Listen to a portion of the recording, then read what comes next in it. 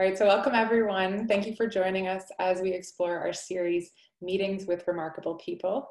My name is Bria Freeman, and I'm excited to explore with you a conversation with some leading edge thinkers in the field of unified physics and sacred geometry, exploring the intersection with modern mysticism, shamanism, and the emerging consciousness of our times. I'll start by introducing our panelists who are each masters in their fields. Marshall, Marshall Lefferts is the founder and director of the Cosmometry Project and author of Cosmometry, Exploring the HoloFractal Nature of the Cosmos, a groundbreaking book released this July 2019. He's also a board member and adjunct faculty with the Resonance Science Foundation in collaboration with Nassim Haramein. Marshall also worked as associate producer for Thrive, What on Earth Will It Take, which is the most widely viewed privately funded documentary in the world, available in over 20 languages, and arguably one of the most pivotal consciousness documentaries of our times. Marshall is a lifelong student of nature, cosmic knowledge, as well as a skilled musician. For the past 41 years, he has studied and synthesized a variety of pioneering research, including the work of Buckminster Fuller, David Bohm, Nassim Haramein, Foster Gamble, Richard Merrick, and others, culminating in his book, Cosmometry, which we're pleased to be discussing tonight. Welcome to the call, Marshall. Uh, thank you so much, Bria. Thank you, everybody. Uh, I'm just so honored to, to be here with you all. So appreciative of your great interest in these subjects and can tell by my, my little bit of looking around at who you are and what you're doing and getting a sense of that, that uh, it's a very rich and deep inquiry you all are, are involved with. And it's just a pleasure to be here and be in that inquiry with you tonight. Thank you. Thank you. I'd like to also introduce Berdhanya Swami Tierra to our call. Berdhanya is a spiritual teacher, author, and mystic. Her teachings focus on the transformation of consciousness spiritual awakening, awakening which she sees as the next step in human evolution. For the past 30 years, Berdhanya has been dedicated to the empowerment of the feminine force through an exploration of forgotten sciences such as art, meditation, Ayurveda, and ceremony. Berdhanya's work allows for communities around the world to engage with Earth's vibrations and supports equality and justice for the re-emerging Earth dimensions and different intraterrestrial races. Welcome, Berdhanya. Thank you, sweetheart. Thank you for putting together this uh, opportunity for all of us to interact and to learn from each other and to have fun.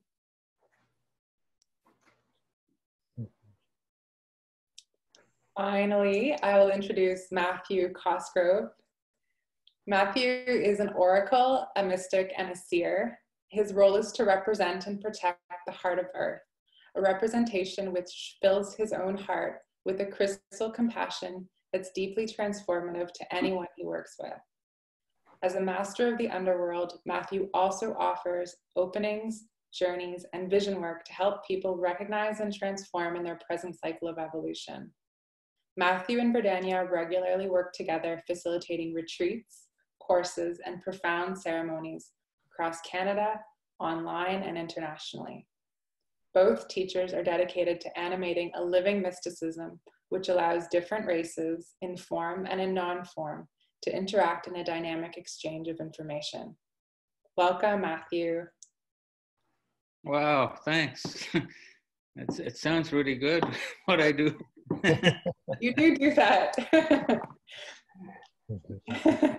I'm, I'm really excited about this because, uh, well, we'll get into it later, but it, it uh, I've been seeing all these, well, like in the book, the cosmometry, uh, different symbols over the years have appeared um, in conjunction with where people are at, you know. But we'll talk about that later. Yeah, there's some amazing intersections to explore. Yeah. Really, really rich. Yeah. Thank you. I'm pleased to say that we're also joined by our Cosmometry Study Group, a dedicated group of seekers from across Canada and the United States. Our study group has been led by the trailblazing efforts of Octave Lafortune, who is specialized in facilitating courses in modern science, in modern sciences. Thank you for being with us, Octave. Thanks, Bria. Thanks for hosting this and uh, trailblazing. My goodness, what praise! We have the real trailblazer here in the in, in our meeting. But yes, thank you. Thanks for having me. Everybody plays their part. So we have a beautiful group we have here. So I'll just we'll start the conversation. Marshall, we'd like to start with you. Uh, we found your cosmometry book this summer, and it's been found to be one of the most comprehensive, accessible, profound, and inspiring um, book that leads that provides like what's the leading edge ideas of what's being now understood in the field of geometry and unified physics. So you did a, amazing work. Thank uh, you. yeah, can you tell us a little bit about how the inspiration for the name of this book came to you and why it's so important for the modern seeker to really understand these fundamental principles in physics, energy, and in the cosmos? Mm, sure, I'd be happy to. Well, the name cosmometry um, is one that, um, well, really, my, my background, um, as you mentioned, has deep roots in, in the work of Buckminster Fuller.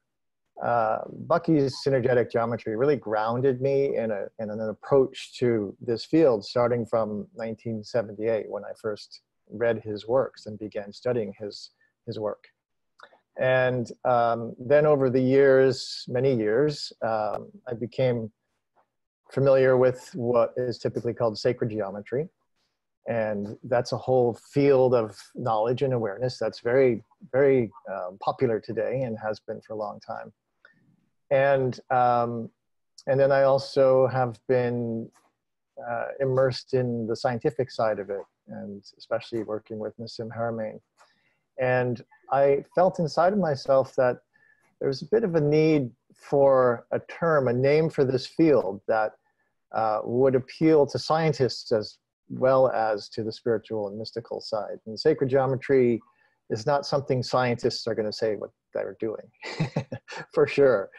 Um, and so I, and I also then, in musing upon that, um, was considering how the word geometry is very much geo means earth. It's very much a, a system that's based on our experience here on earth and what bucky was discovering in Nassim and my work with foster gamble who created thrive.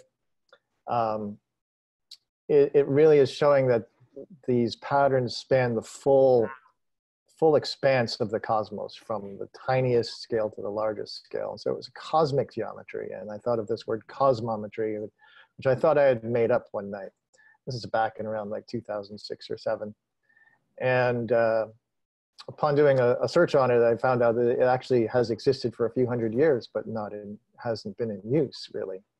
And so uh, for me, it, it was, it and is the appropriate name for this field of knowledge from a more broad context that includes Buckminster Fuller's work and the scientific understanding as well as what we typically find in sacred geometry. So that's that's how the name came about for me. And so I, I really just offer it as uh, uh, a word we can use, a name we can use to have a conversation that really can include all parties in a comfortable way. In terms of the importance of this field of knowledge in the world today, um, for me, I, I feel that, um, well, essentially, uh, the human evolutionary path, I think, as we're all very, very much aware of, is really at a threshold of, of make it or break it. And uh, the, the challenges and crises we face, the ones that are very much hum, human oriented, come from a worldview and very much a scientific worldview that has oriented us towards the idea of separation, and domination and control over nature, um, superiority, and really a lack of, of a sensitivity to uh, not only a greater sense of the world and of nature, but even of ourselves in relationship to that. And that, for me, is at the root of the challenge and the crisis. It's really a crisis of our minds and our consciousness. And also then an understanding scientifically um, that is, let's say, maybe more deep and true to the nature of reality than the materialistic and reductionist model. And that has been predominant. And so the, the field of knowledge of cosmometry and of the unified physics, uh, the scientific worldview that is represented from that understanding offers us a, um, a new perspective and really fundamentally a new paradigm because it shifts from the paradigm of separation and disconnection to one of unification and completely connected um, at all scales and in all ways. So it really offers us a, a basis of understanding that is uh, essential in my mind to being able to make this shift that we're in and gives us a, a compass of orientation towards which to do so that is is coherent and in alignment with what what I feel and I think the the science shows us and also understanding Bucky's geometry um, and the all the aspects as they come together in a wholeness it, it shows us uh, how we can how we can come back into alignment with the cosmos and because we're obviously very out of alignment and imbalance now, but we can come back into alignment and harmony with nature and the cosmos by understanding and applying these ideas in, in our technologies, in our social structures, etc. So for me, that's, it's essential that we do so, and this offers some insights into a way that we can approach that. That's beautiful. It really opens it up beyond just like there's the implications for the seeker and then there's the implications for anybody who's interested in absolutely the evolution of earth yeah yeah everybody implications for everybody really everybody yeah. It's, a, it's, a, fundamental shift that um, you know the, the shift will affect everyone no, no matter how it is going to go and so um, we get to choose how that happens each of us and then together uh, and um, ideally we make these choices that are going to bring us in the best and highest and most compassionate and beautiful outcome. Um, and so that's that ultimately it does affect everyone either way. it's a very it's a very worthwhile objective for all of us, I think. Absolutely. Um, can you so we when we created the study group to to study your work, um, Octave was, was in charge of facilitating that for us. And so I'd like to invite him to talk a little bit about the intersection of what we're studying and what we found in your work, in your work. Mm, great. Okay. So our community, the members of the study group, you know, we've been sort of swimming for the past three years and a bit in teachings by our, our teacher, uh, who's in this session as well, about subject matter called the structure of being and the structure of belonging. And, you know, the structure of being is really a very personal uh, set of teachings and practices, you know, to help, you know, raise human consciousness as much much as it could, but which is great, but we've really moved into what we're calling the structure of belonging now, which is really moved us into the impersonal realm. So, you know, it, raising consciousness, uh, synchronizing consciousness with the group, the planet, you know, the environment, and it's been really, it's been really good. It links quite well with your book. Um, so just like a quick little background, my, my day job, I'm a computer engineer. So I've always thought in you know mathematical ways right and there's throughout the teachings of our of our teacher there's been always a few key paragraphs and sentences here and that i'm like man that really sounds like sacred geometry mm. you know and yeah i'm gonna like pick one just just a really quick one just to give you an example so this is a quick little clip clip from a document and it's and it goes um, you know, essence is like a tongue and it looks like a pyramid. It is up and in at the same time. it is the center. The point that the structure of the source is based on and from where it is balanced. All other structures are based on this. When I heard that, I'm like, she talking about a tetrahedron? Is that what she's talking about?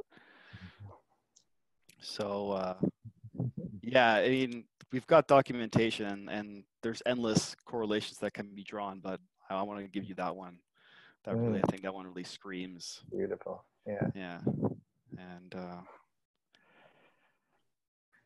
yeah, I guess I could say that, you know, these teachings for the past three years sync up super well with like the big three sacred geometry. So the tetrahedron, the, you know, the vector equilibrium and the IVM and, you know, their resulting dynamics, right? in the torus and all of its features and all of its behaviors, they mimic quite wonderfully the teachings we've been exploring for the past three years. So Mm. it's deep and it's it's vast and you know obviously like i can't cover any degree of detail in these two sentences that i have but it's there man and it's awesome Mm.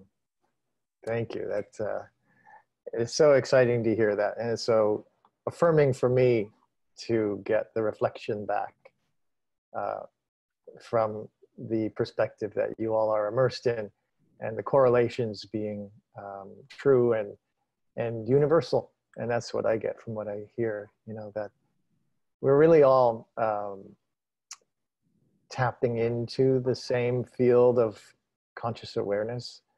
And so whichever way we are, you know, whichever lens we're looking at it through or path we're exploring it or language we're using, it's all, we're all looking at the same thing because there's really only one thing going on here. one thing Love to hear that reflection. Yeah Berdhanya, would you like to expand on that a little bit, the correlation between the cosmometry work and your teachings? we we need to see that each individual is um, positioned in a space in different points. So therefore, each individual has uh, particular resources, particular point of view that aid the theme of development that that particular individual have chosen.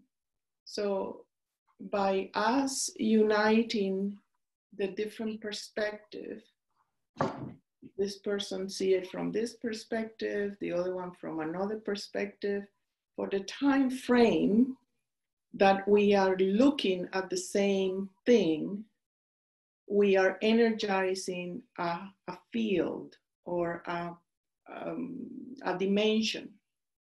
And we enter in that dimension. And by entering into that dimension, we are locating ourselves in a earth that is parallel to what we, all the observers, wish to live. What is that we are um, directing the one thing through us embodying that, we are actually animating a dimension that is unique to the viewers. So the more individuals or souls or or um, parts of us, whatever you want to have it, look at one thing at this moment, which is the understanding of a reality that is in great dynamic.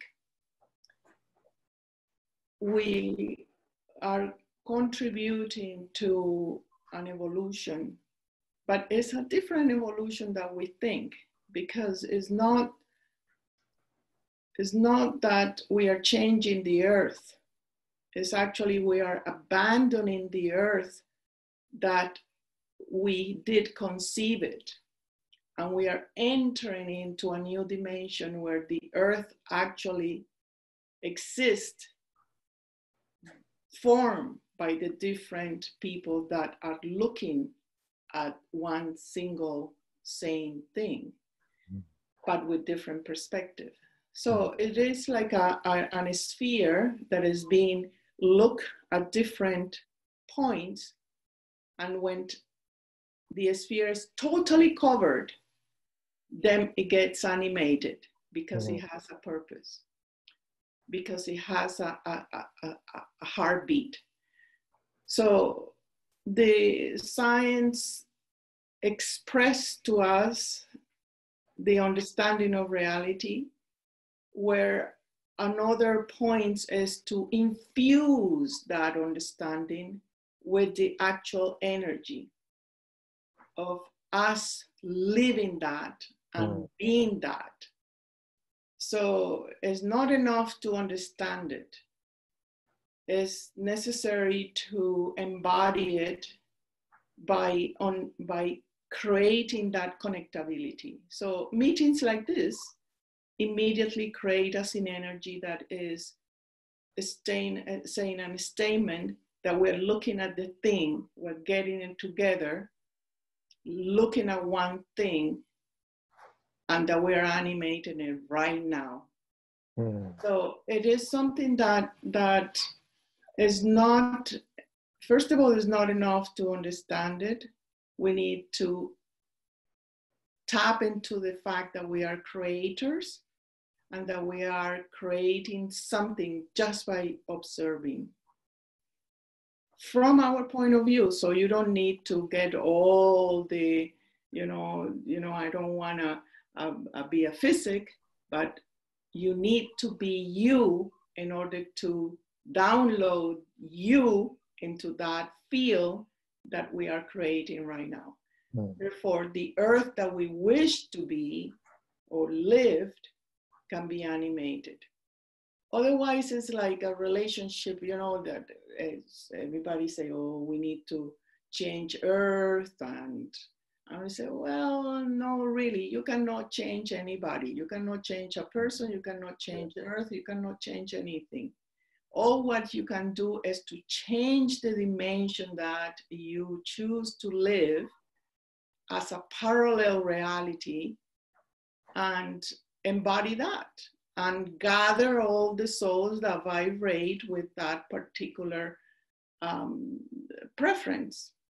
So when we, that's why they, we get this, this meeting together and say, okay, how cosmet- cosmetry see it, how biology see it, how music see it.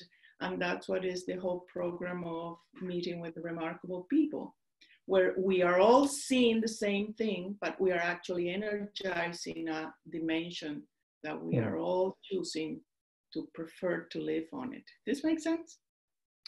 Yes, beautifully said. I love that. Uh, makes me just feels so good to to to take that in and reflect that I, you know, I fully feel that in myself. That you know the the the, the scientific and um, intellectual aspect gives us a, a window into this one thing. And, and that's very important and very valuable, especially because our, our wonderful minds with all their great capacity can also be very confused when they don't understand the, uh, the, uh, the experience of our spiritual being. Like the, we have that more intuitive, direct knowing side of it ourselves. And yet we haven't had a, a model that's been congruent with that from a scientific and logical and intellectual, rational perspective. And so um, having that enables us to integrate that part of ourselves in with the, the aspects that are whole and in that embodied sense and, and intuitive knowing.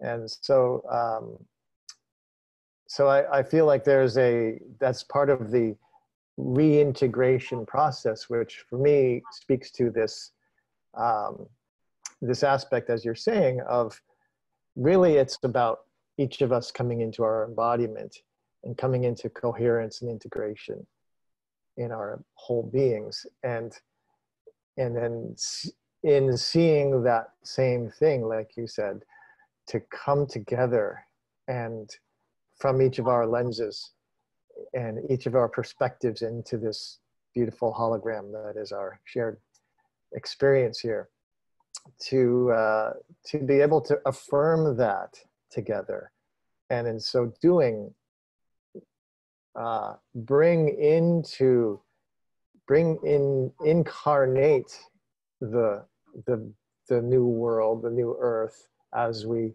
share that understanding uh, into this reality. And it's a process. It's actually, it's, an, it's a necessary process of um, visionary and practical understanding coming together.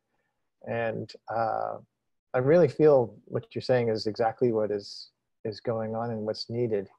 And um, how that permeates into the collective field of human consciousness well, it starts right here by being together in this way and having these conversations and um, being able to share them um, as you all are. And being able to bring greater and greater clarity to what is that shared perspective of this one unified um, understanding. And uh, and then celebrate the diversity of the perspectives, like you said, through the music and the arts and the science and the, the consciousness um, modalities that we can use to help us embody it more fully. But yeah. really, the embodiment is the key. I agree with you. Yeah, and, and with the understanding that that as we we become what we see, and that the only change that um, we are able to really do is to not only observe the, the what is observed, it becomes us.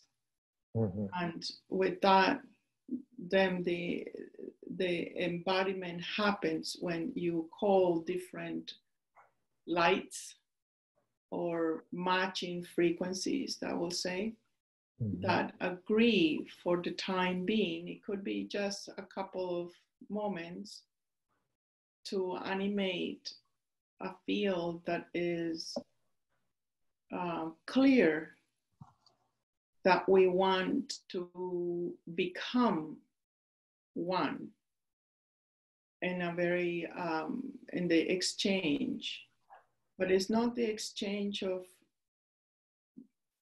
it's, is actually related to resonance, the exchange of our voice. Mm. Is the exchange of our vibration that we have created at this moment, a cloud, if I can put it that way, mm-hmm. Where we are magnetizing um, a field of diversity where nobody is fighting with anybody and that the agreement is taken for granted. Mm. That we don't need to discuss what you think and what I think is about what we need as what is your contribution to the dimension that we want to inhabit. And in that simplicity, then we become and we need to separate a little bit of the concreteness because it's it's not again it's not about changing the world it's not about mm-hmm. changing mm-hmm. earth you know earth is fine mm-hmm. and what what we are not is enough agile to uh, move at the speed that she's moving. Mm, yes. Yeah i i really feel it's a it's a change from within and um, the the human experience is one aspect of the totality of the experience of this earth. And um, I, I love your mentioning of the relationship of all of, of all beings intraterrestrial beings that are in form and not in form and and we are one of those and we have our particular perspective. And we are highly uh, impacting the the experience of this earth.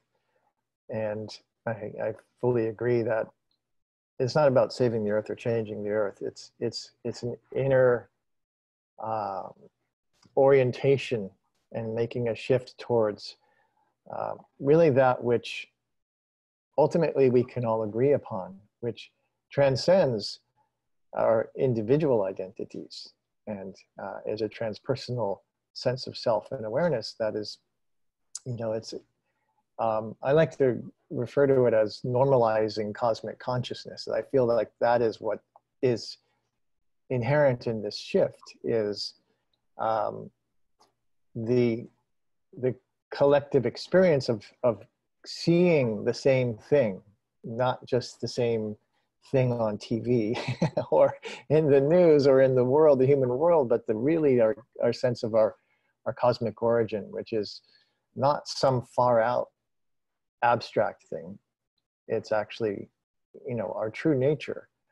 And it's it's simple, like you said. And uh, so when we can see that simplicity and come to a shared sense of sense of that knowing, then we can choose and make the shifts in ourselves and with each other and in this world that will um, allow the evolution to be um, well i don't know if the best word is successful either way it will be it will succeed um, and yet dynamic. from our experience dynamic just dynamic to make yeah it yeah right dynamic alive yeah. understood uh, uh, to yeah. participate fully with what we have what we're built for and to put our perspective in an expression that is concrete and and that make us excited about our life and the life we yeah. want to live and and where we want to be directed and that see that the power of our own creator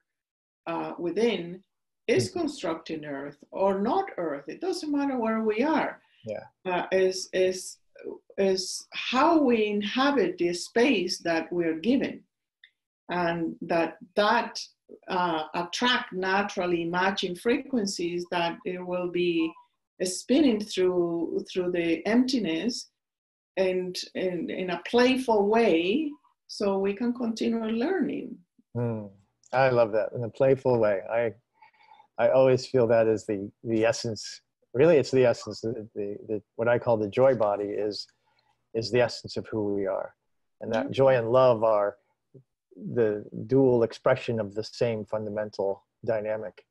And the balance of the two coming together is where we come into our wholeness. And so the, it's very important to be in the playful relationship with this and not be too attached and too serious to either the process or the outcome Uh, Matthew, could I invite you um, and to speak a little bit about your work as a seer and how this cosmic geometry has appeared to you, or how, how what your angle is on it? Uh, yeah. Um, um, yeah, I'm, I've been following the the uh, the conversation here. It's very interesting about, like in my book, the artisans of the new earth, the um,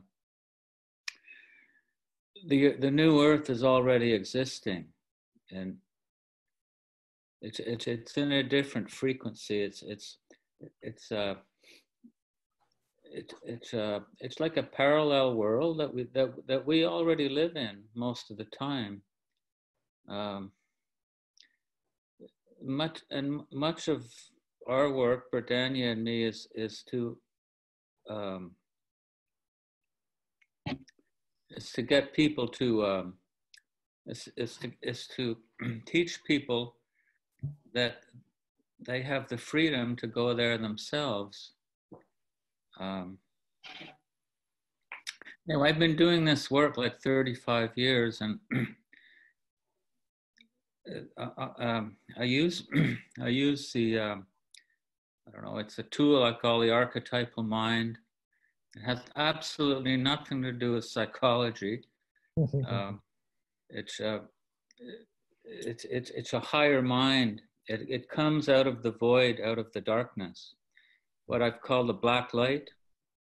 And I've, I've since discovered, a shaman, I've always called it the black light. It comes from the emptiness, it comes from the hollowness that, that that is all around us. Like we're mostly just empty space, which is charged with tremendous power. Yeah. And the black light and the archetypal mind comes directly from there.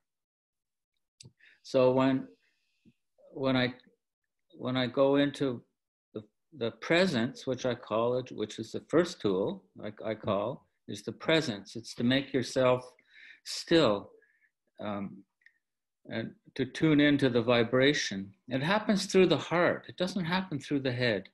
Mm-hmm. It happens through the heart.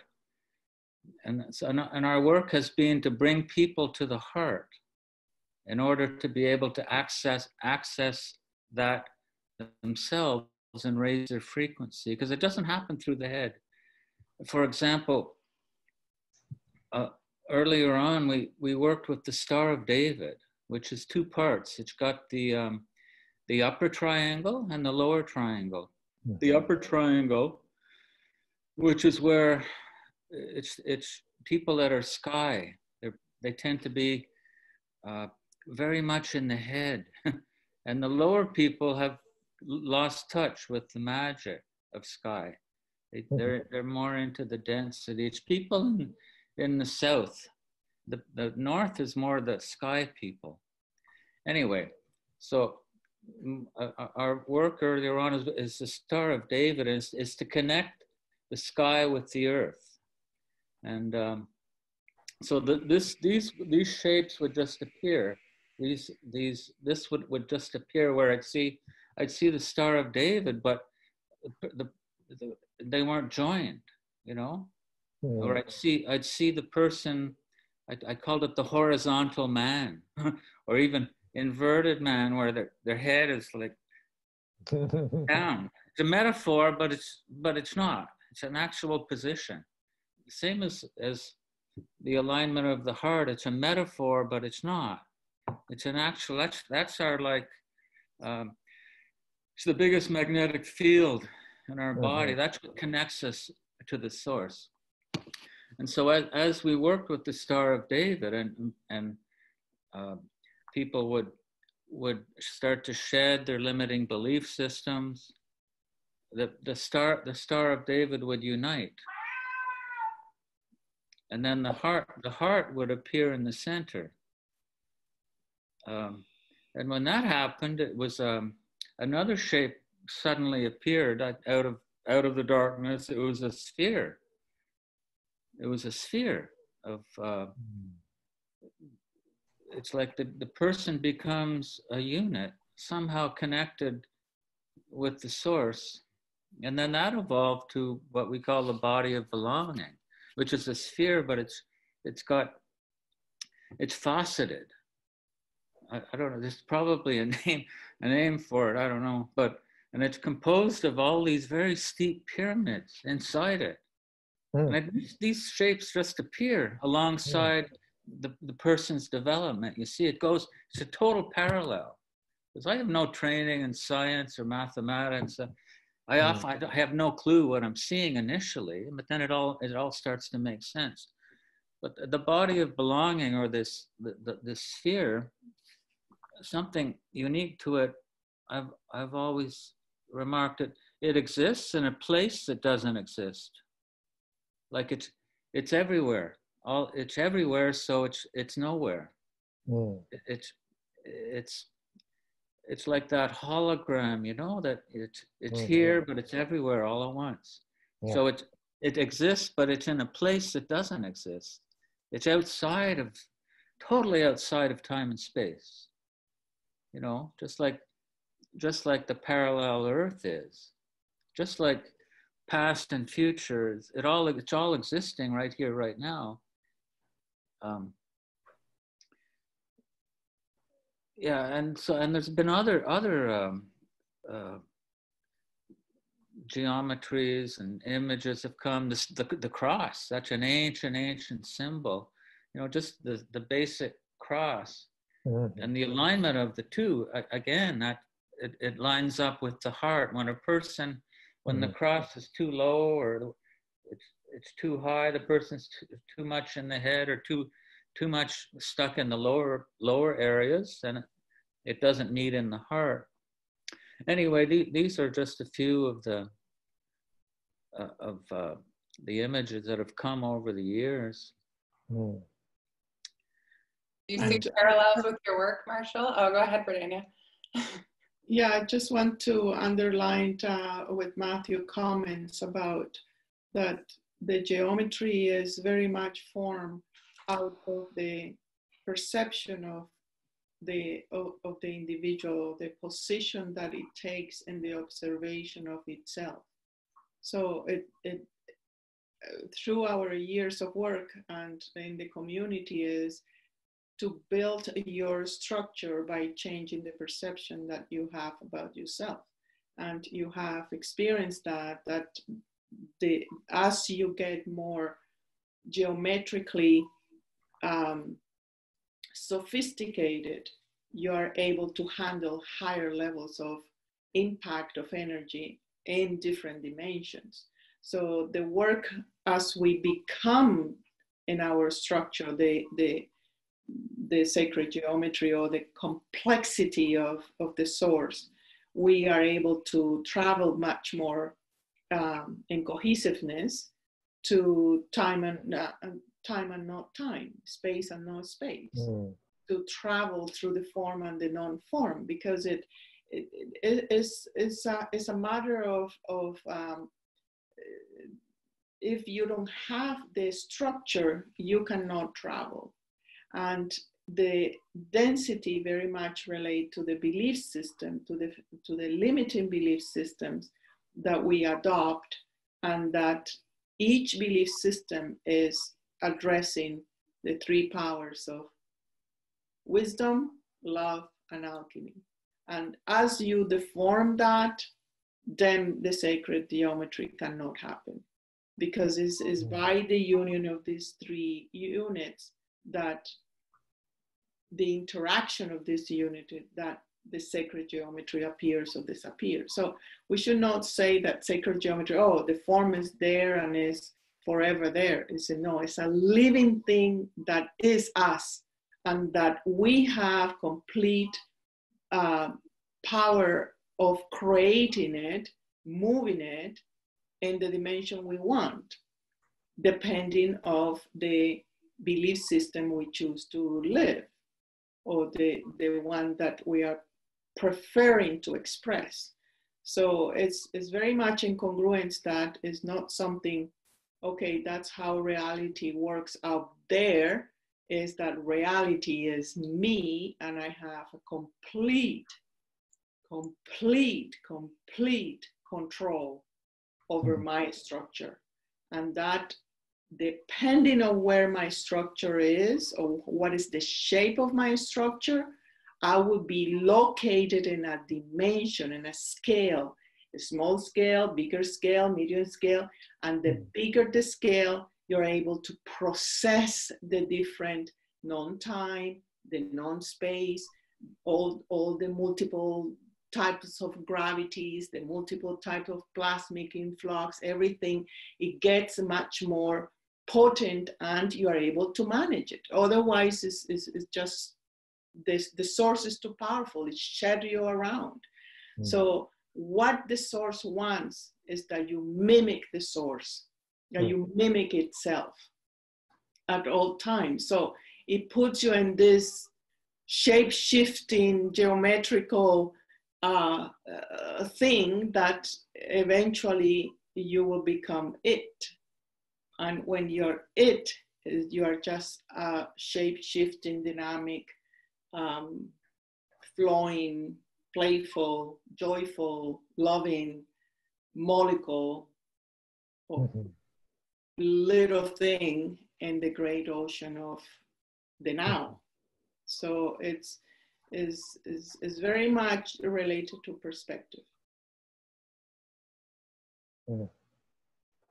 Marshall, would you like to comment on that? How you see the parallels with your own work? That's that's uh, so so rich and deep. All that's been said, um, and uh, Matthew, thank you for sharing some of those visions you have and your your your sense of them. Um, and in reflecting on some of those aspects, um, you know the in in the model of that I have in cosmometry, um, really, you can say that everything that we have as an experience, our experiential relationship, whether it's physical or metaphysical, is is ultimately one of relationships. In order to have an experience, we have to have a sense of self and something else.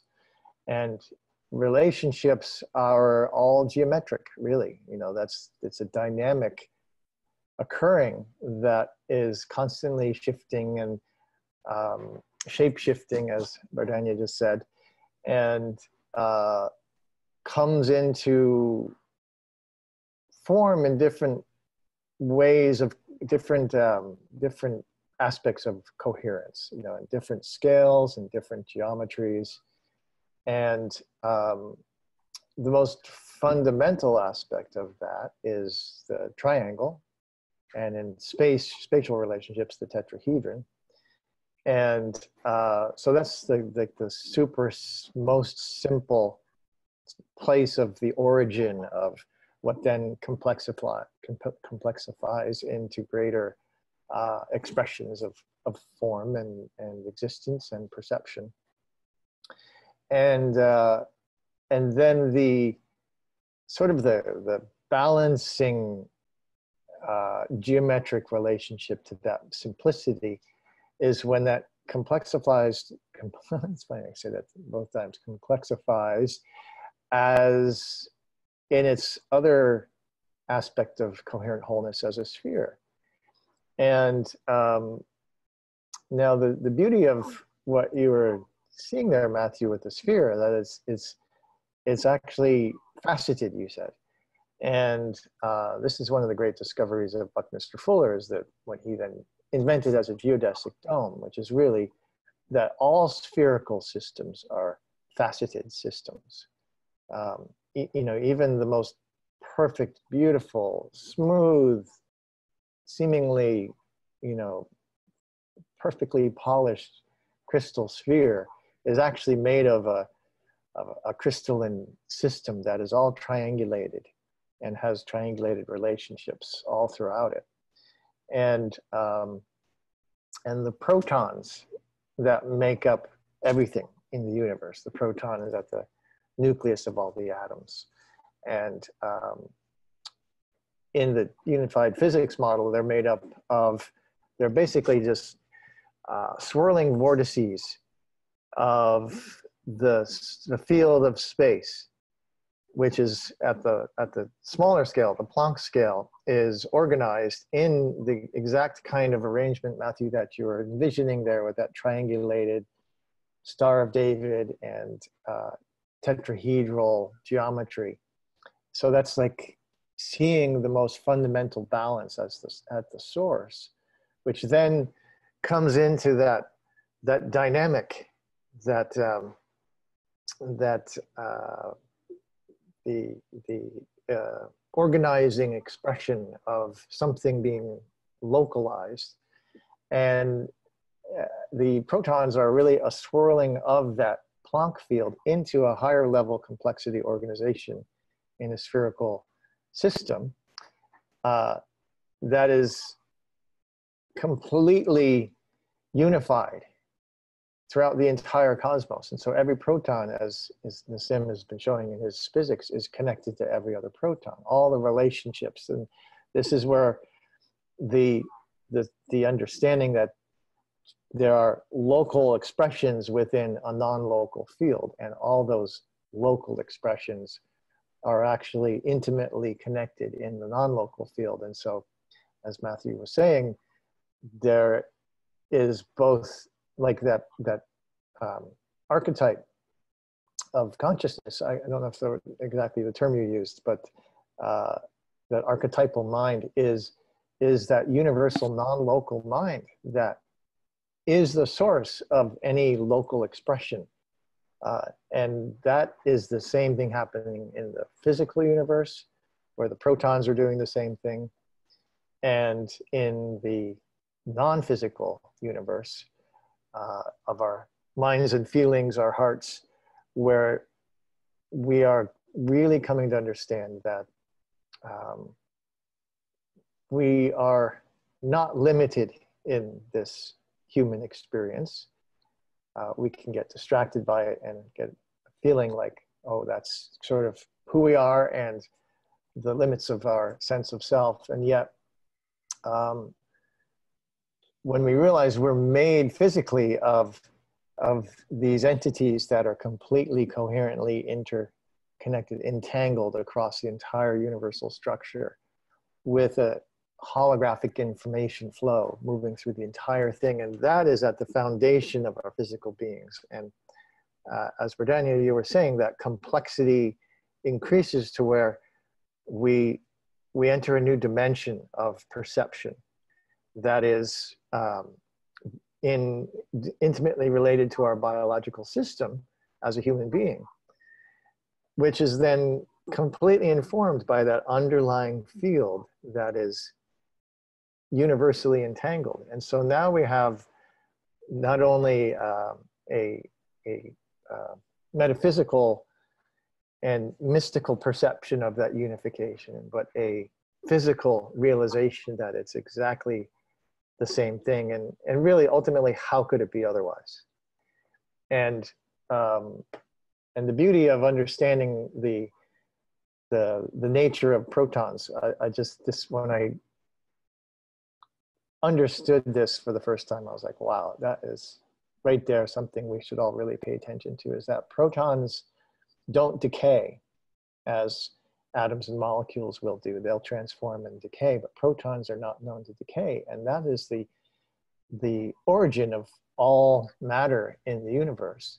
Therefore, it means that the very foundation of the universe, the earth, ourselves, is eternal abundance and you know that in itself is so important to really take in uh, fully um, and you know as we struggle with on this planet with some of the challenges of of, of the perceived limitations when we actually start to orient from that perspective and inform ourselves uh, you know towards what, uh, what we can make real to realize to bring into this world from that perspective, boy, it just changes the foundation of it all.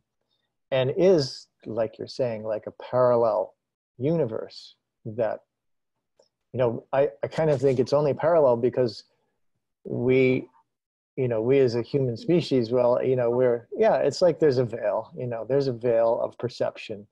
And once you see through that veil, as you all are clearly very much exploring and, and in relationship with, you know, then we see that what is the human condition here is very much an illusion. It's contrived. It's it's not reality, and that the the that archetypal mind that is beyond a local sense of a, a psyche, uh, you know, is the source of of our perception. And when we let ourselves go there in that you know beautiful, gentle surrendering way, um, then we can orient ourselves together into bringing that expression, bringing that realization into this world. And um, you know, and the and the beautiful thing is that the the science is oriented, is congruent with that idea, and it's actually supporting it. And and then by understanding that and applying it, we can not only with our consciousness and our hearts bring that into embodiment, but make the very important shift we need to make in our technologies and our social systems and all that, uh, so that it can become a beautiful, faceted, integrated, spherical whole. yeah, well, thanks for that. It's a, mm-hmm. a, a, it's kind of a confirmation for me. I've been all these years in my cave and, mm-hmm. and then I realized, well, I'm what I've been the work we've been doing. It's it's part of a much bigger picture, and it's all the same thing, you know.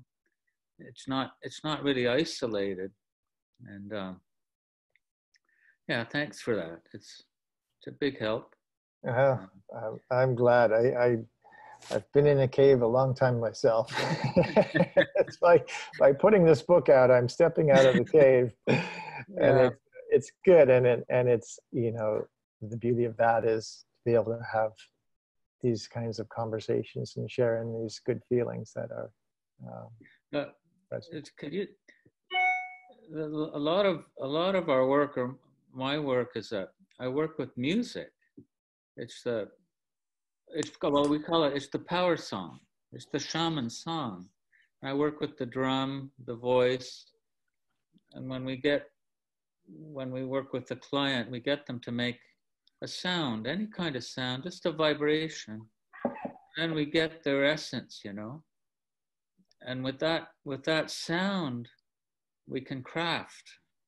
We we we and with the drum and the we can journey but it all has to do with sound vibration it's that also seems to coincide with uh, different geometries it's the sound itself it's very powerful it's very powerful it's a for me it's a it's a passport for travel and mm. and and and the one's power song is is the signature in the invisible.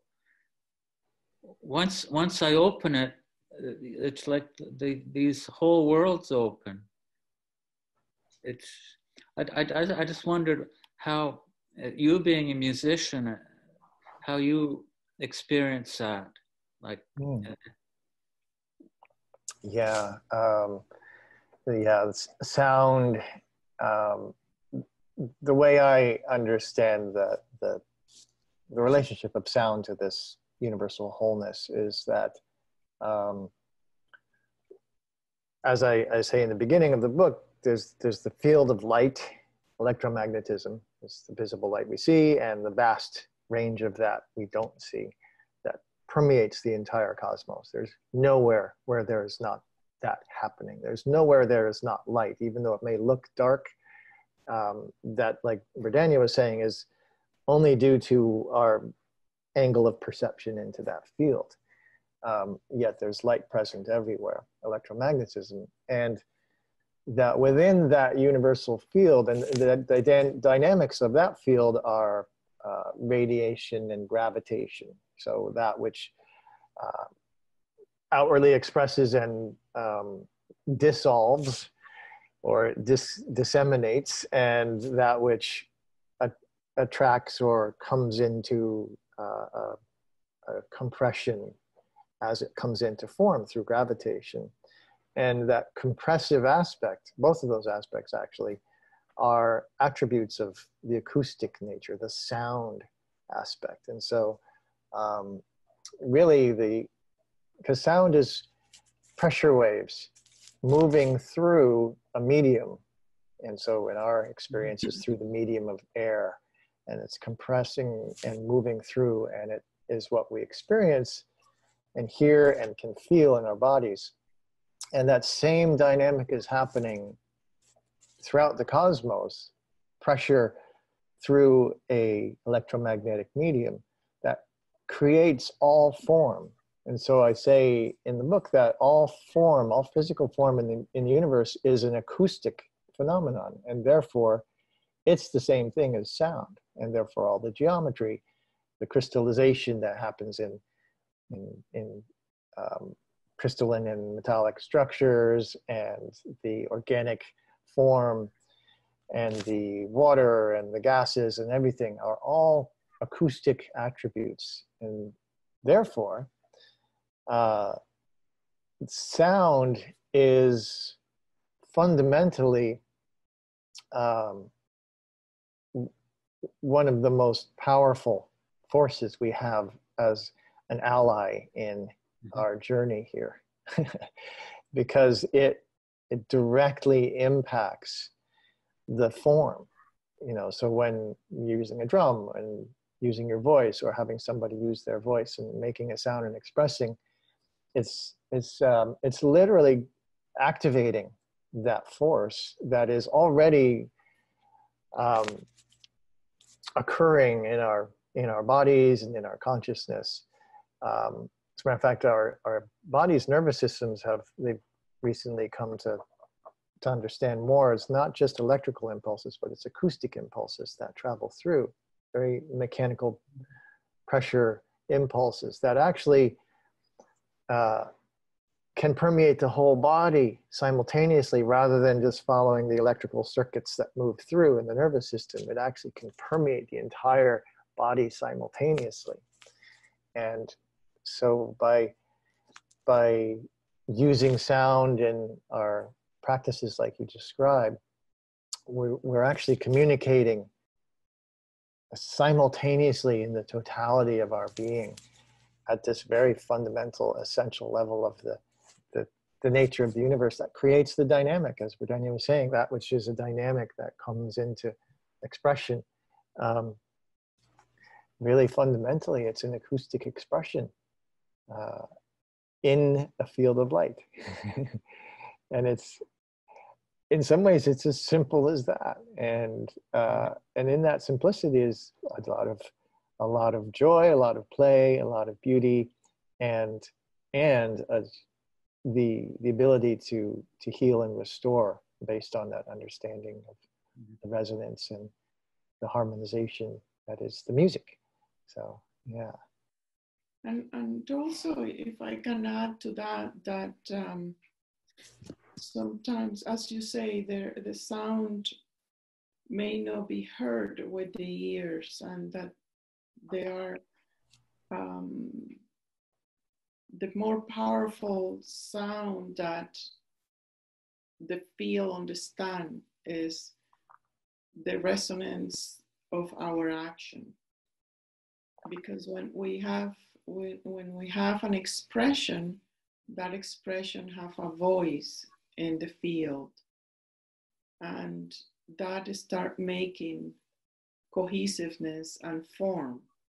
That's why it's so important that at this time we are, we cannot afford to be uh, not expressive. We need to come forward with what passionate us with what we're meant to do even if it's a small thing.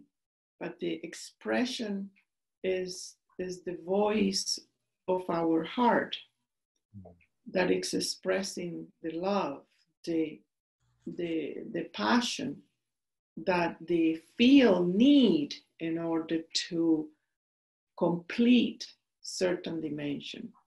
So when we are too much in the cave or too much with our limiting belief systems, we are depriving the universe from our sound.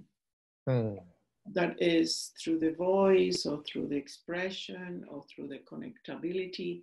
But when we locate ourselves as a creator, then we have the obligation and responsibility to contribute um, with the song. So it can be sectorized for a healing session or something, but your whole life is a healing session. Your mm-hmm. whole your whole expression, whatever you choose to express, is the song that is forming uh, a dimension, a scale, um, a quadrant, a constellation. So you're saying it's not just about everybody going out and getting some gongs and crystal bowls that that everything we do has a resonance it doesn't That's matter right. what it is That's right. Yeah.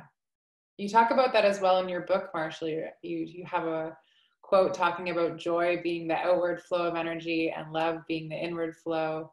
And then the, the peace being that, that the peace and the stillness being the balancing point between these opposites. Can you give a little comment as well on your own um, how you see your own expression or how you see the natural urge to express from coming from your own like research and the work you've done mm. yeah so there's so many ways of, of expressing and uh, I, I, wanted to acknowledge that beautiful poetry of your expression Berdhanya, about that that relationship to sound and resonance and uh, not only not only in the range that we can hear, um, and not only in the range that we can see. As a matter of fact, uh, the vast, nature of reality is beyond our hearing and seeing. And, um, and so um, there's so much more available to us than we give ourselves credit for, let's maybe say. and, um, and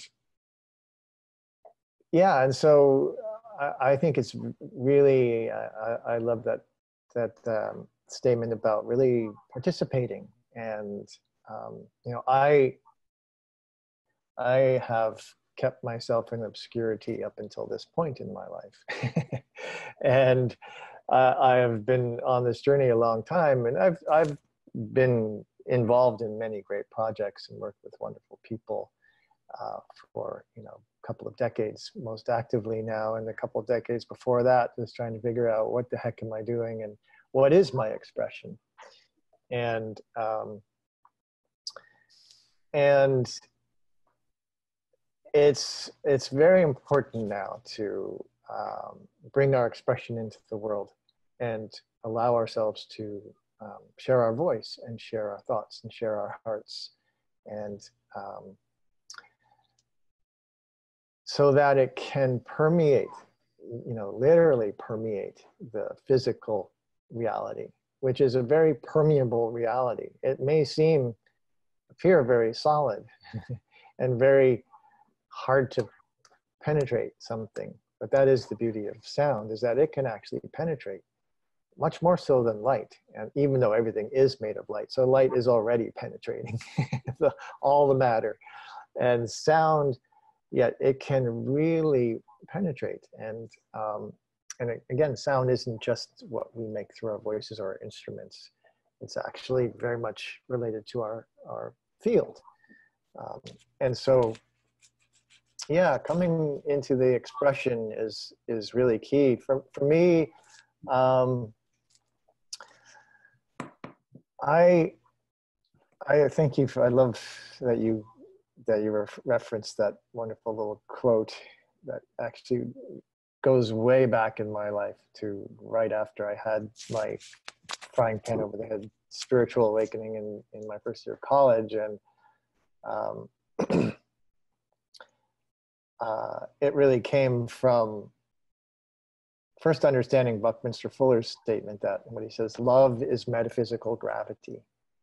So that the physics of gravity is the, the physics, physical expression of that which unifies and attracts and binds together in wholeness and love is our experience of that and and then i felt like well there's a complement to that which is the radiant side of it which is the joy and uh, so i said joy is metaphysical levity um, and uh, ultimately then saw that relationship that you that you ref referenced in that, that little statement there. And the balance of the two is, is so key. And I have long been sort of an advocate in, in my worldview is that, um, you know, there's always room for more love in this world. But what's really, really lacking is more joy. And that, um, you know, without the joy, people can still be in love and go to war. And when the joy is present, you're not very likely to go to war. It's, it's hard to get into a real aggressive fighting mode when you're in joy. And yet, when you're in love, it still can happen. And so, to me, there's an essential balance um, that is required in order to, to go through this transition. And that, that when they come together, that is the true nature of compassion. And so, in terms of an expression, however we can express ourselves to bring that joy into the world, to bring an experience of joy to those who we are uh, in relationship with in every moment. It's always here right now. And really, I feel it's the true nature of our being. Bliss, you know, bliss and ecstasy. When you get past all of your personality ideas and your your ideas and thoughts of stuff that happened in life that makes you something other than that when you get transcend that into that that uh, non-local state of self-awareness what's left really is this beautiful bliss and joy and love and compassion and peace and truth and, and honesty. Um, and so, yeah, the, however, through, through music and dance, through science, through, through um, spiritual, through shamanic work, through um, business, any and every aspect of our expressions um, informed by that. It's, and it's very essential and simple, and yet that's where the profound um, capacity of it arises from. So that's beautiful. That's I will share that right now. Matthew, would you like to comment? Uh, yeah, the joy. I, I can relate to that. The joy, the joy seems to be when we're following our passion. It's, it's our natural state. And um, yeah, true that you can't. I guess you can't go to war if you if you have joy. yeah, seems to be the case. Yeah. And I guess some people who go to war find joy in it, but maybe they don't have the love.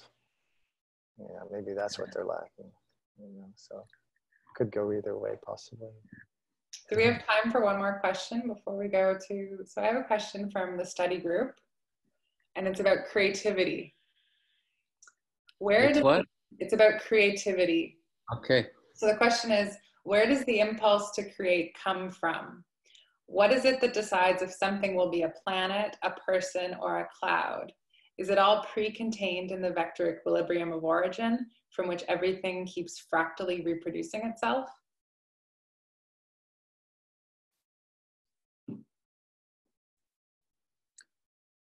So the impulse toward creativity or the or the information. Oh, we lost Marshall. They said they're having a storm. Yeah, we'll give them a moment. Berdhanya, Berdhanya, would you like to speak? Well, creativity is a faculty of the heart. And creativity is, is the very nature of the creator. So, since we are the creator, it comes from the creator and is constantly forming us. So, it's not like where it comes from, it comes from the attribute, divine attribute of creating, because we are the creator. So, it's, it's not, it's, it's like a flow or a current that hits you when you are in your heart. Like, otherwise, it, you start constructing with your head or you start uh, analyzing how how how you should go about your life you want to be creative but creating is very much with the inspiration that you have every day if you create from that place then everything is fine and everything start to synchronize and that synchronicity you start getting the geometrical form of your life that you start inhabiting so it's related with the uh, with the power of alchemy. It comes from the alchemy, but it's also the the electrical plasmic impulse of the heart to express divinity, and the expression of divinity is is the play.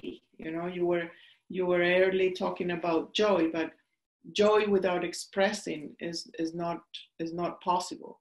The only way to fulfill yourself is by following the passion because the end is in the passion that you have the creativity the focus the direction the guidance the stimulation the development the, the transitions everything is in there so you are actually wired and designed to um, be creator be the creator and when we respond to that then we take responsibility. right so so it, we cannot say that love and joy you can have love and you cannot have joy no, that's not the case. If you have joy, you have love. If you have love, you have joy because it's one single unit. If it's separated, okay, I can feel joyful because on earth I have certain things that uh, that are convenient for me or feels good to me. Then that's a kind of joy. That's a kind of love. That's a kind of um, understanding. But the true nature have no difference.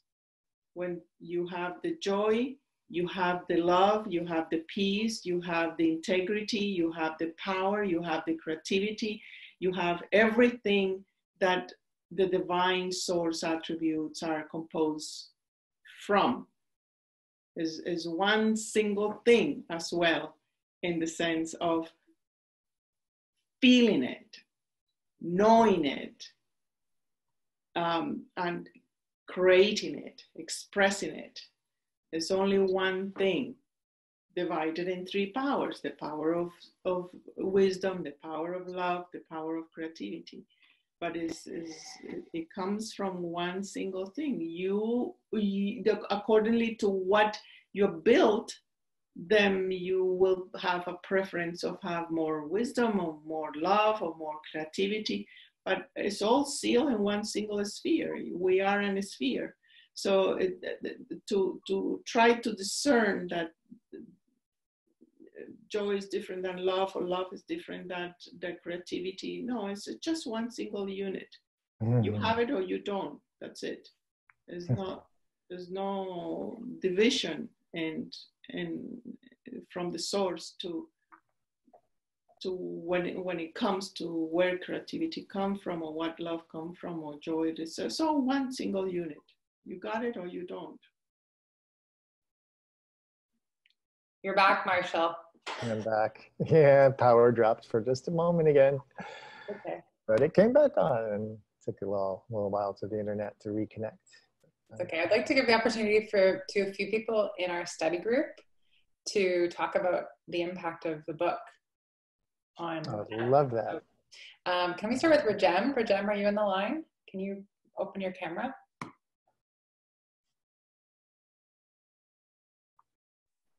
Maybe I'll do it for you.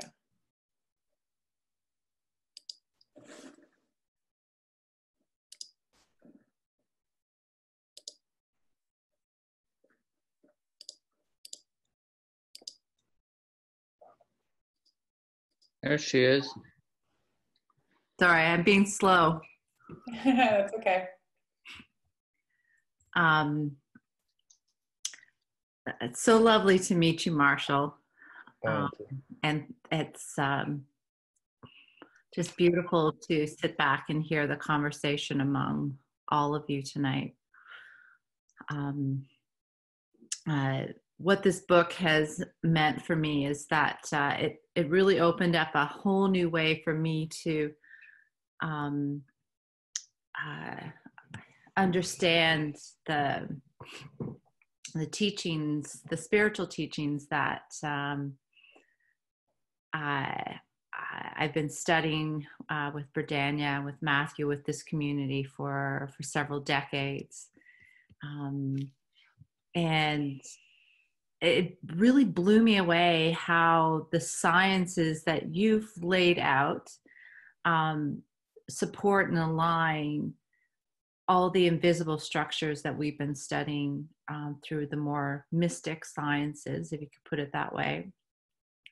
And what started to happen to me is now every morning in my um, my meditations is I see these structures, and it's uh, I mean I, they hit me more in my meditations, but it's like I it's like I've started to see how all these building blocks uh, appear just everywhere in, in places that I would never have seen uh, before. And uh, I'm also finding that I'm aware of, of more links um, between Mm, just different concepts, different ideas than I had before. So, and I mean, it's, I'm so grateful for Okchok because uh, to delve into this book um, without his guidance, uh, to understand it and to kind of get my brain up to speed on, on, on sciences that I studied decades ago. Um, uh, would have been an unsurmountable task. But uh, Marshall, I just really want to thank you for um, sharing all of your uh, collective, uh, probably lifetime collection of of mm-hmm. your passion.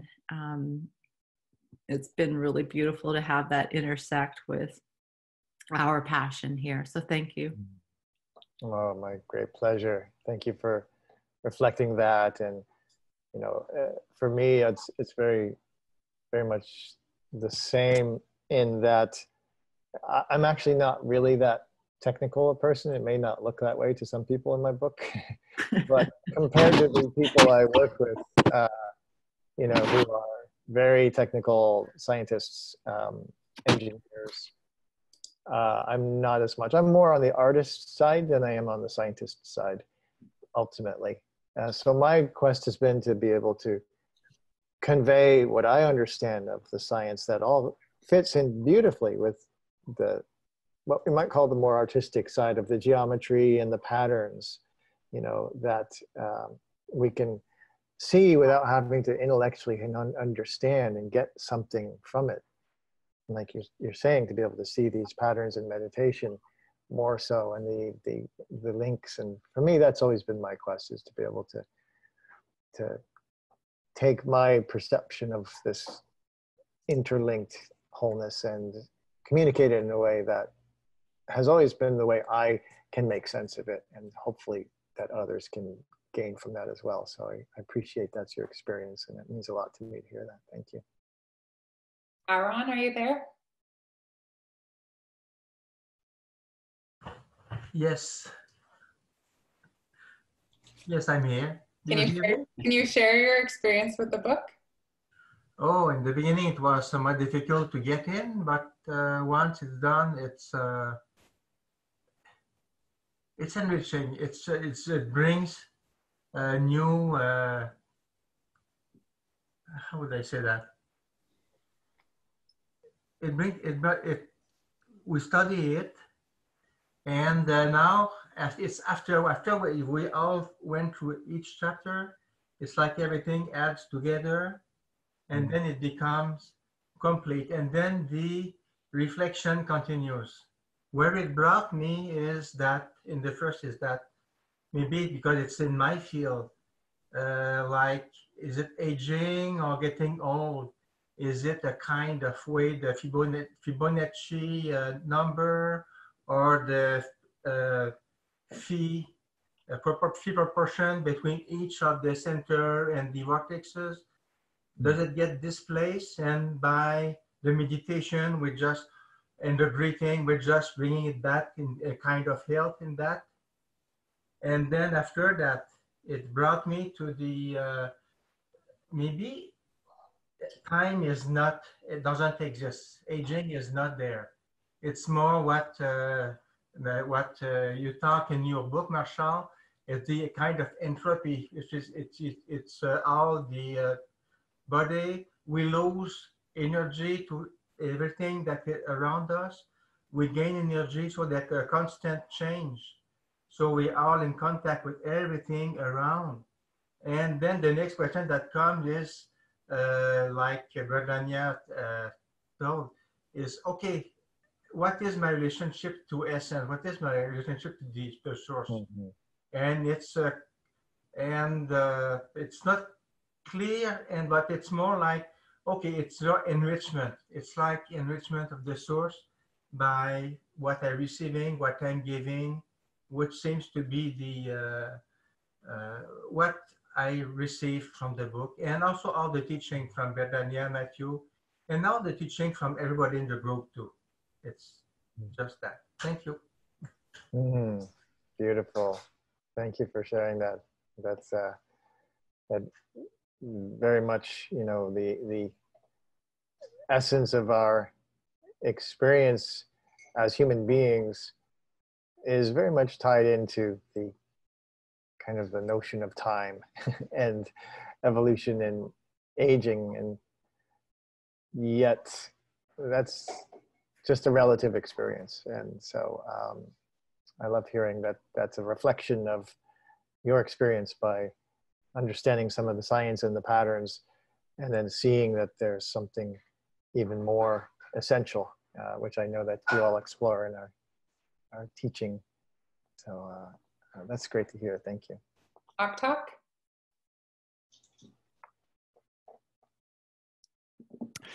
Yeah, Marshall, your book is fantastic, man. Actually, wait, let me a- animate myself a little better. Your book is fantastic, Marshall. no, really, really, it is. Um, thank you you know, I've always been like scientifically orient, oriented, and and the subject material clicked with me quite easily, which was which was great. But I really want to highlight a particular aspect that you know us only like a single author could really like pull off properly. You know, if you go if you go out there on the on the internet, if you and you try to like research sacred geometry or finery or you know holographic nature or fractals, you know, you kind of get like a really a disjointed mess of Mhm. information and it's really something quite special when you have a singular point where the data is amalgamated but most importantly you're you have the consciousness that being you in this case being able to actually draw the links between the separate subjects and go right this is connected to here and this is connected to here and this ties into this and we could see this detail here and it's like right got it. So Mm, dude spot on like your book is great. Awesome. Aptak, thank you so much. I appreciate that reflection and um, uh, you know like i was saying that has been part of my quest is to be able to show the integrated wholeness. And what really i i know is ultimately a very simple model. Um, it can be challenging at first to get through all the parts and start to see what the parts are in their own unique aspect of that wholeness that like the perspectives that we're talking about to see that one thing. And then when we see that all together as one thing then they all uh, you know every one of those holographic fractal the phi the harmonic nature of music uh, the the the physics they're all just one thing. Consciousness it's it's all just one thing really. And and in that is a is a tremendous simplicity. And it's when we orient ourselves to, to, to seeing it as all as one thing it starts to make sense then because until we do and like you were saying Aktak, it's like these these separate strands that you go look here and you look there and then but you don't see how they relate. But when you see that as all one thing it actually then makes a lot more sense. Yeah something else that you find on the internet too is people are trying to like pick one aspect of it and like uh, you know try to make like a final a final solution out of it. And Mhm. it's like mm, you guys are like losing the exploration part of it right? And you're losing uh, but you know the perspectives are good right? Like you want to take the physics approach or the finery approach or you know just sacred geometry approach and and once you sort of finally get that clue you know you finally like you find a perspective that sort of oh a light bulb goes on for a moment then suddenly all those other perspectives that you may have missed or misunderstood start to become way more clear right yeah exactly yeah I can say that as well from my perspective. Like I had a general understanding of some of the, the theories of unified physics, but then when we really delved into it and explored it in a disciplined way, it forced me to look at things that maybe I didn't completely understand. And and as Berdhanya was saying, it's like when something when you focus on something, it gets bigger in your own reality. So it was like it was like entering that dimension which which we're in all the time in a way in one way but then it's like mm-hmm. entering it from I don't know, like the understanding of just that dimension and, and just seeing it everywhere. Like I was facilitating a ceremony a couple weeks last week and seeing that there more more strongly than before and uh, Mm. in working with Ayurveda as well, Ayurveda, you know, is based in the elements. So I don't know, it feels like it changed my relationship with space. Mm-hmm. Like like the awareness that every, you know, it's things that masters have always said that like everything is in the now, but I don't know, for some reason the imprint really stayed with me and and it, I think the impression mm-hmm. Here to stay. Yeah. So thank mm, you. Wonderful. As I was saying in, at, towards the beginning, um, you know, I really feel it's important that um, our minds get have the opportunity to understand this information because it's then that the mind can relax and you know by having that that logical relationship to what we already are very much feeling and our hearts know. And you know is very much the orientation of the spiritual mystic aspect. Oftentimes the mind is still wondering you know is this real is this real? Uh, what, what do i do now you know or how can i get somewhere or whatever it might be? All these questions that can start to relax when there's a framework that the mind can settle into saying yeah i get it now. Okay and then we can really you know go. And it sounds like you know some of your experience in ceremony is like you said your relationship to space. Well there's an orientation that allows your mind to actually go there also you know and have a a place uh, and then let go because that that relaxation is present and it's so important. So thank you for that reflection too well i would like to say um, Marcia, that as um, as a holder of this community and my choice of bringing this book into the studies of the structure of belonging, um, I noticed in the community a great lit of um, understanding their nature and as you say to that they are able more to relax and realize a point that they were needed to understand. So each person has kind of a different maturity point um, that this book, uh, those research have brought up, is mm. that each person have the aha point and the integration of some teachings that they were ready to be integrated, but they, they were needing that link to be integrated. So without that information, whatever they were processing to be part of their cosmetry, mm. um, were, were um, not able without your book um, oh. information that that you brought to each of us is um, is very rich. It's very um, for the mind bending, the time, the space, the conception of of where we are. So I really um, um, feel grateful that you have saved me a couple months of uh, work. Good. I'm glad it's paying off. On time, my, time. My efforts are paying off. That's great.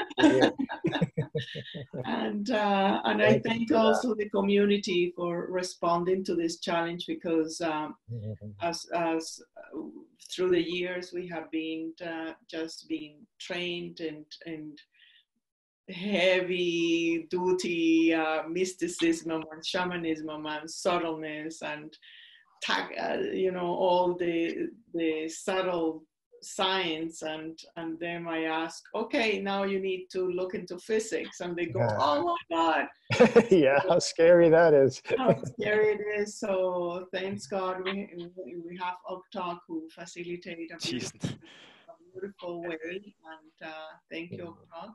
Yeah, not scared from your role. And when you said that, I was like, really? We're going to check out physics? Finally. oh, oh, Octave, by the way, I've, I've been seeing this uh, double pyramid above your head. Yeah. As, you're, as you've been speaking. yeah, it's uh, it's a star tetrahedron that I just put together Oh, with uh, barbecue okay. skewers. Yeah, yeah. So it's really there. Well, I've got I've got that and like. And others in my meditation room downstairs. But my my son liked that one in particular, so he we brought it upstairs. Very That's good. great. Well, I, I Anyway, I just wanna I just wanna thank you for all your work. is is very much uh, of great contribution to this community, and um, I look forward for further interactions and maturity in different topics and expanding the the voice of different members that I'm sure they have um, something enlightened to say. Thank you, Bri, again uh, for putting this together, uh, Matthew and Octave and all of you for for tonight. Mm. Well, Berdhanya, thank you for um, uh, taking the time to look into my book and then seeing its relevance in your community. Um, uh, I'm curious, how did how did it come across your radar to begin with? Do you recall? Hmm. Probably her crush on Nassim Haramein. Oh, yeah. Through through those channels, talking about emails, and yeah, okay, yeah, Yeah, I, I, yeah. I start I start to introducing some of the knowledge and uh, researching for some uh, uh, videos of physics that they could be enriching the certain topic I was Yeah. teaching. So yeah, great. across, um, You had it right in July. Like you had it probably the same month that it was. that it Sounds was like it, out. yeah. Yeah. Mm, yeah, right away.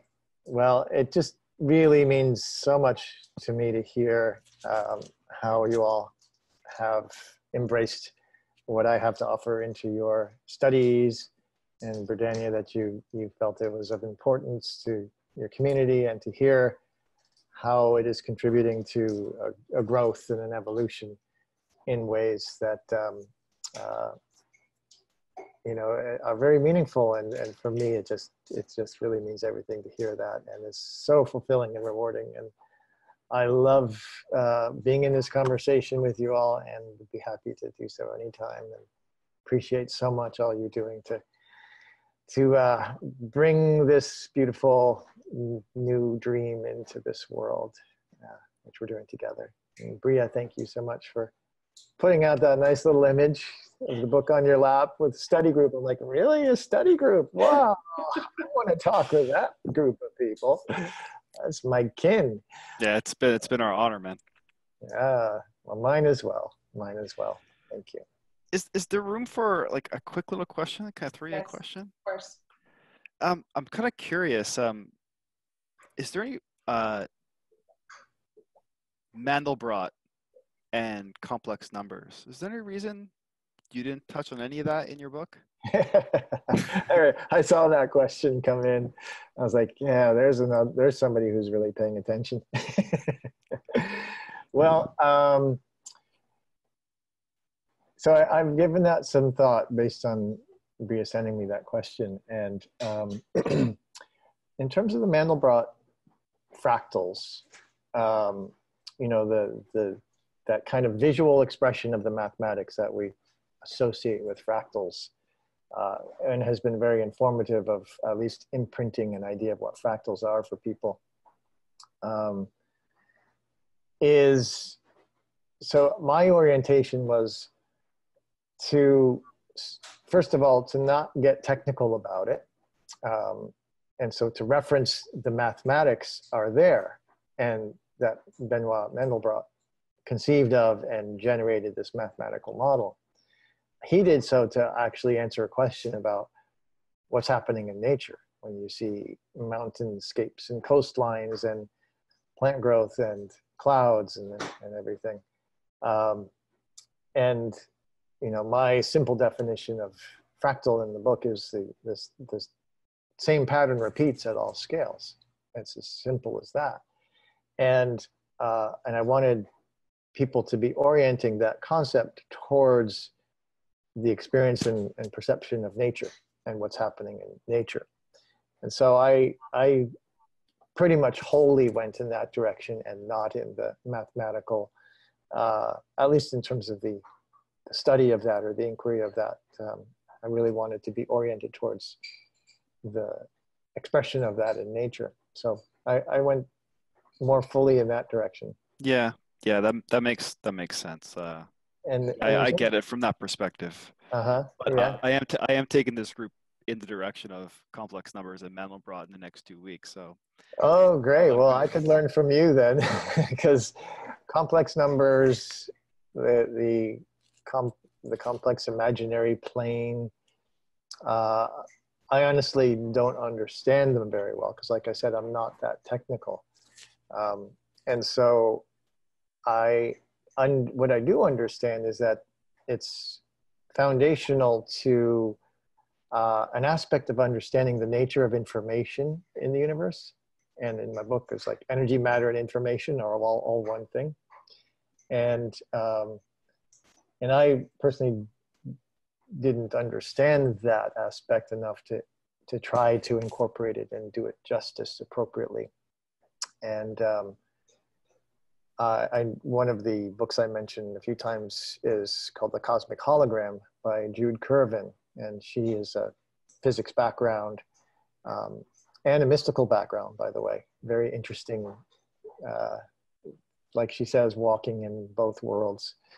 And um, she's a she's a wonderful cosmologist, and I think would be a great person for you all to have a conversation with.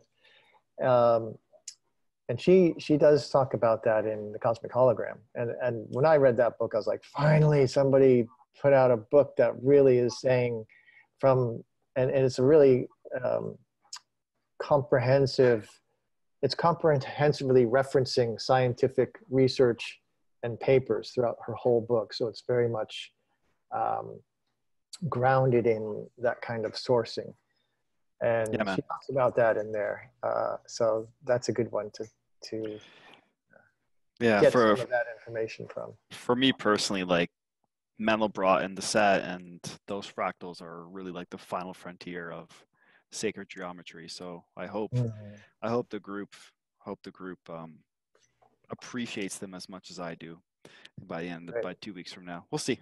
We'll see. It, Yeah. it is a, it is a bit technical. It uh, it is, but I believe in them. So Yeah, well, I, and and what she says, and that's kind of the rounded out, is that it's that aspect of these complex um, and imaginary numbers and and all that is the informational aspect underlying what then comes into the other the of- form, yeah.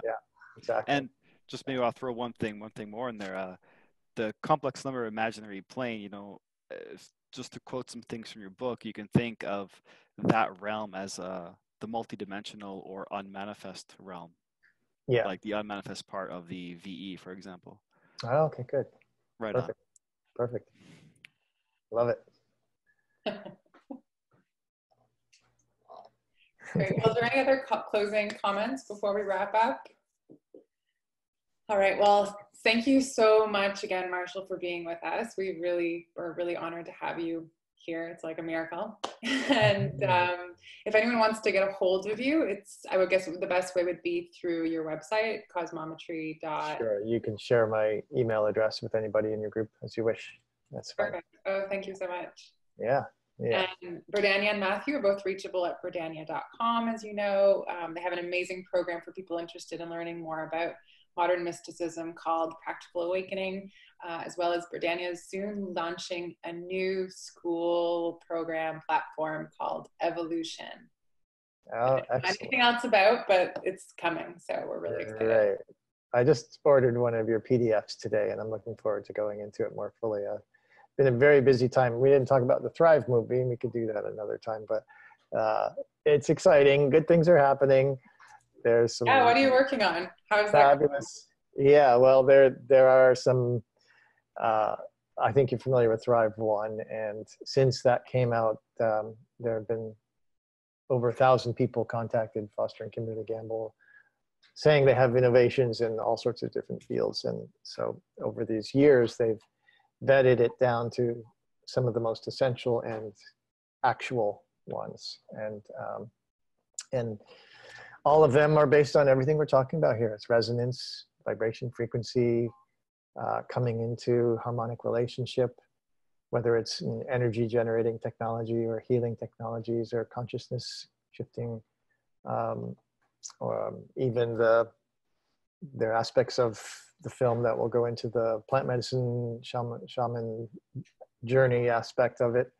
Um, the you know really the pure consciousness aspect of it and it's all one and the same thing. And so we're going to be um, i have the just the dream job of working with foster and a team of um, computer graphic artists 3d artists to to to be able to visually portray the things that are in the book you know the, the, the geometry and dynamics of the unified field. And uh, and that really the the unified field is sort of the the star of the movie and everything else is in reference to that relationship to that.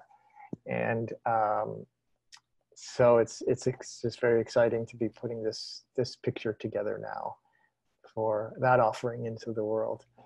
Um, so. That's beautiful. We'll look forward to seeing that. When is it coming out? I aiming towards spring of next year. Cool. And we're in the thick of it now. So uh, yeah, so I, I, was I wanted to do some more reading of uh, your some of your books, Berdhanya, uh, and so just finally today I was like, well, I'm going to get one of these PDFs, and it didn't come in yet, but I look forward to reading it very much. And yeah, okay, you'll you'll get there. you're, you're getting you're getting a, a, li a little. I made that um, book with the with the intent to have a, an overview of, of a great um, mandala of life. So you have a little bit of resume on that. Mm. Hopefully, hopefully um, will be understandable. Oh, I look forward to taking it in. And uh, thank you for all you're bringing into our world, all of you. And thank you for having me here tonight. It's been an honor for me as well.